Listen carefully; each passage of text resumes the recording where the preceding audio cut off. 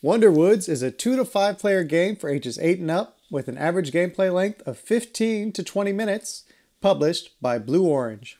The basic overview of Wonder Woods has players placing baskets on mushroom patch boards to collect mushrooms, to hopefully score a lot of points per mushroom, but the value is unknown. Once two patches are out of mushrooms, the players will finish the harvest phase and the game ends. The values are revealed and the player with the most points wins. To set up the game, each player will take seven baskets of the same color, put two in the middle of the table, and keep the rest in front of them. Place the mushroom patches for all players to see and reach. Depending upon the number of players, place a certain number of mushrooms under each matching patch. For a two player game, use 8 mushrooms of each type. 3 player game, use 10 mushrooms. A 4 player game, use 12 mushrooms. And in a 5 player game, use all 14 mushrooms. Next, take the information cards and separate them into four piles, one for each type of mushroom. Take one pile at a time, flip it face down, and then shuffle the pile. Take a single card without looking at it or showing it to any player and place it face down under the matching mushroom patch. Do this with each pile. Once all patches have a card under their board, shuffle all the remaining cards together to make a single pile. In a two player game, deal each player four cards and place the rest of the cards nearby face down in a draw pile.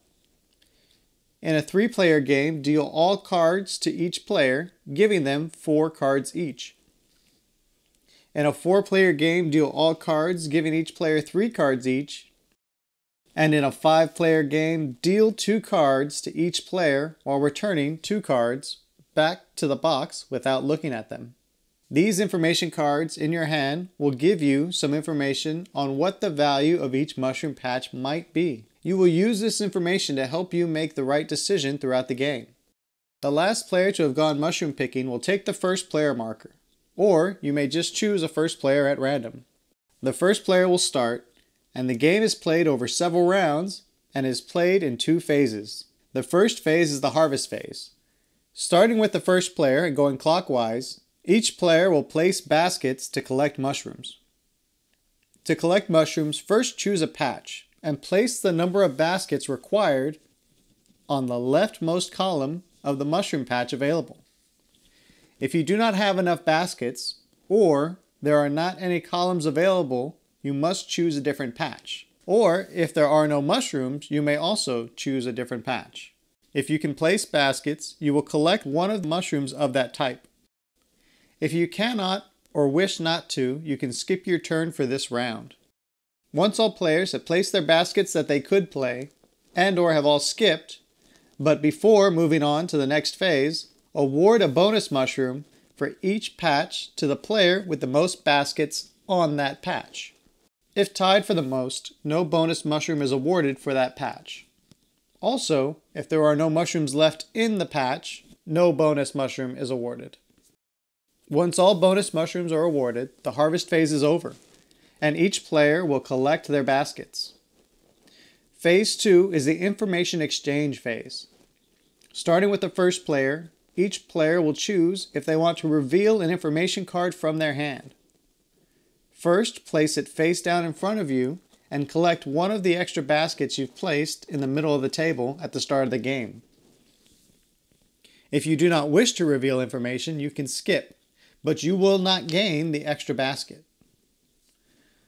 Once all players have either placed a card face down in front of them or have skipped, at the same time, all players will flip the information card face up for all to see. Side note, in a two-player game, you will also flip one information card from the deck of the remaining information cards. After revealing the information cards, the information phase is over and the first player will pass the first player marker to the left to the next player and they will start the next round. Continue each round the same way by starting with the harvesting phase, then awarding bonus mushrooms, followed by the information exchange phase. Do this until at least two mushroom patches have no more mushrooms available, And once that happens, finish the current harvest phase and proceed to scoring. Flip over the information card that was placed under each mushroom patch. Calculate the number of points each player has by multiplying the number of mushrooms of that type by the value displayed on that information card. Do the same for each patch and add together for the final total. The player with the most points wins. If tied, the player with the most mushrooms wins, and if still tied, both players share the victory. And that is how you play Wonder Woods. Thanks for watching. Please like, subscribe, and ring the bell to get notified about new videos. If you're bored now, click this for more games.